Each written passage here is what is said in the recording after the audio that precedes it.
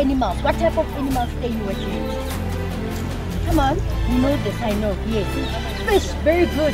Um, I want you to pretend that you are water pollution coming. Okay, and I want you to pull out that can that says water. Because you're taking the clean water and making it dirty now. Let's see what happens to this system. Just pull out water.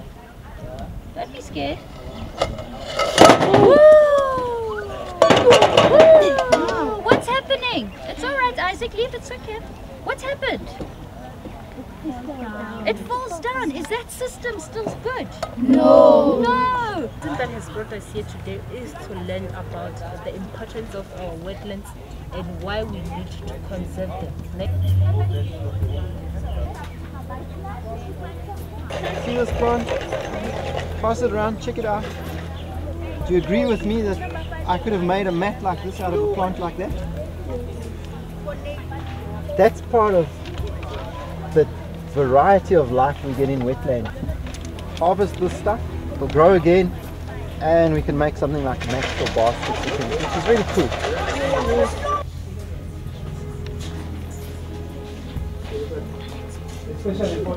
cool.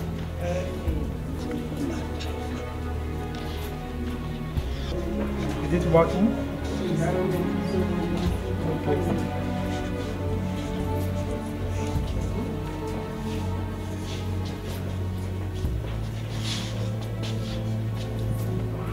We are here today to celebrate World Wetlands Day.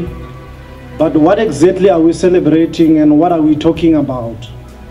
During this celebration, we wish to educate communities and all of you about the importance of wetlands and the need to protect and conserve them. Wetlands provide important hydrological functions such as groundwater recharge, water quality improvement, and flood alleviation. It, it is up to each and every one of us to make sure that environment remains clean by doing the following. Getting involved, find out where wetlands exist near your home, try to learn more about them, and support educational efforts. Support wetlands activities of the city, encourage your friends, neighbors, and business to protect the function and value of wetlands. Learn more about wetlands at your school, your schools. Ask your teachers to explain them to you and listen when they speak. My motto always has been to preserve and conserve.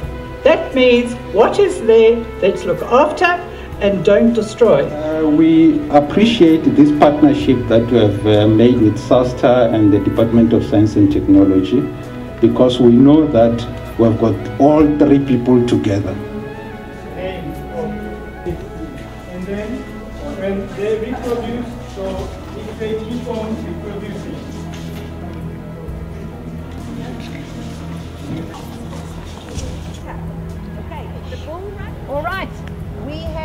dragonfly. Where do dragonflies live? Near water. The butterfly will join the grass. And then we have the duck. Where's fish? Okay? But it's a sundown. Yes, on the Sundays. The water was very dirty. It was Coca-Cola, but I cleaned it. It was still there. Yeah.